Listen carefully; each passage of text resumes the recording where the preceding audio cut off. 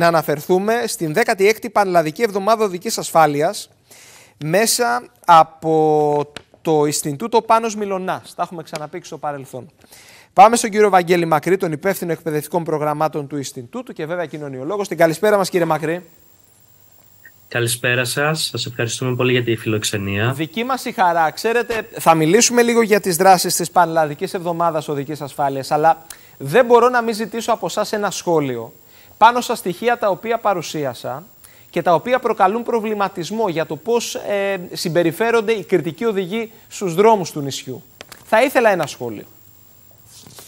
Ναι, ε, δυστυχώς η υπερβολική ταχύτητα παραμένει ακόμα ως ένας από τους βασικότερους παράγοντες πρόκλησης θανάτων σε τροχαία ε, συμβάντα ε, και δυστυχώς ακόμα η Κρήτη είναι από τις περιφέρειες όπου έχουμε τα περισσότερα ε, τροχαία συμβάντα, μάλλον είναι από τις περιφέρειες όπου έχουμε τον μεγαλύτερο αριθμό. Ε, Τι φταίει; Ότι... Είστε ένας άνθρωπος ο οποίος γνωρίζει πάρα πολύ καλά τα της οδικής ασφάλειας και έχετε ασχοληθεί και αυτός είναι ο στόχος σας μέσα από εκπαιδευτικά προγράμματα. Τι πιστεύετε ότι φταίει σε επίπεδο Κρήτης; Ε, νομίζω ότι αναφέρατε κι εσείς ένα βασικό, ε, ε, έναν βασικό όρο το θέμα της κουλτούρας.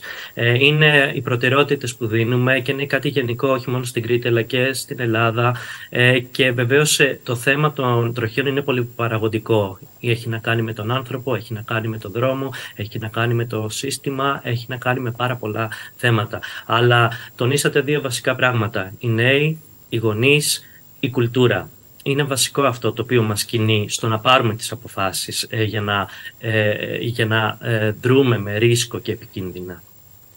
Για να πάμε τώρα στη 16η Πανελλαδική Εβδομάδα Οδικής Ασφάλειας. Τι περιλαμβάνουν οι πρωτοβουλίες σας από τη μία και σε ποιους απευθύνονται; Ναι, είναι η 16η χρονιά η οποία γίνεται. Ε, διοργανώνεται από το Ινστιτούτο Δικής Ασφάλειας Πάνος Μιλωνάς σε συνεργασία με το Σύλλογο Ελλήνων Συγκοινωνιολόγων ε, και με την υποστήριξη του Φορέα Ελληνικές Υποδομές και Οδή με Διόδια ε, με τον διακριτικό τίτλο Χέλαστρον αλλά και με τη Συμμαχία Δρόμης στο Μέλλον όπου έχει και τη στήριξη πάρα πολλών φορέων σε όλη την Ελλάδα. Είναι, μία, είναι ένας θεσμός. Γίνεται κάθε τρίτη εβδομάδα του Μαρτίου και με την ε, ημέρα όπου ο Πάνος έχασε τη ζωή του, 22 Μαρτίου ε, του 2004.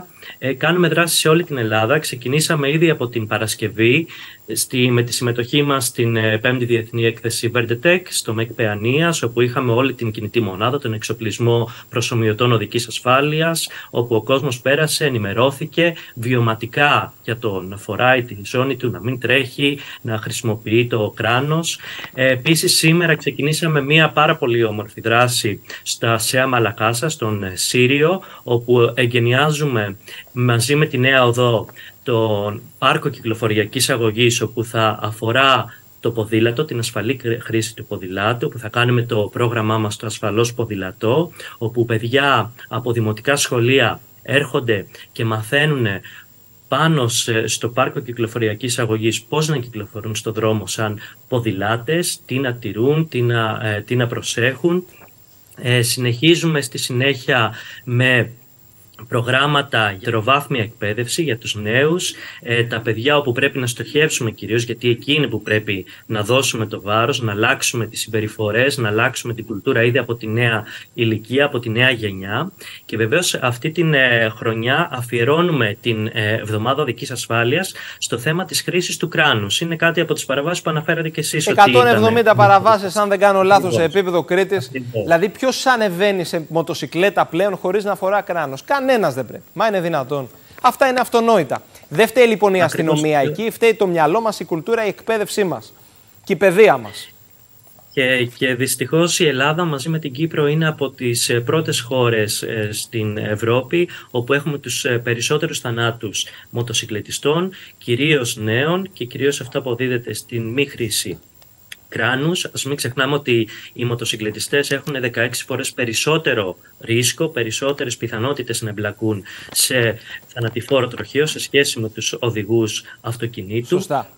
Οπότε είναι σημαντικό το κράνος. Έχουμε, επειδή θέλουμε να προσεγγίσουμε και τους νέους ε, ανθρώπους, προσπαθήσαμε λίγο την καμπάνια να την κάνουμε, ξέρετε, όχι βαριά, όχι να τονίσουμε στον στον πιο φόβο. εύπεπτη Οπότε το, ναι, πιο εύπεπτη. Θα τη δείτε και την καμπάνια, γιατί έχει λάβει την, ε, ε την έγκριση του Ραδιοτηλευτικού Συμβουλίου να προβληθεί σαν κοινωνικό μάλιστα, μήνυμα. Μάλιστα. Ε, το μότο είναι ότι αιώνες τώρα χαλάει το μαλλί, αλλά σου σώζει τη ζωή. Γιατί όταν πηγαίνουμε στα σχολεία, ένα από τα βασικά ε, στα λύκεια που ακούμε και στους νέους είναι ότι δεν φοράμε το κράνος γιατί μου χαλάει το μαλλί, Ακριβώς. γιατί υδρώνω. Μα κανονικά μαθητής λυκείου τώρα δεν πρέπει, να, δεν πρέπει να οδηγάει μηχανή.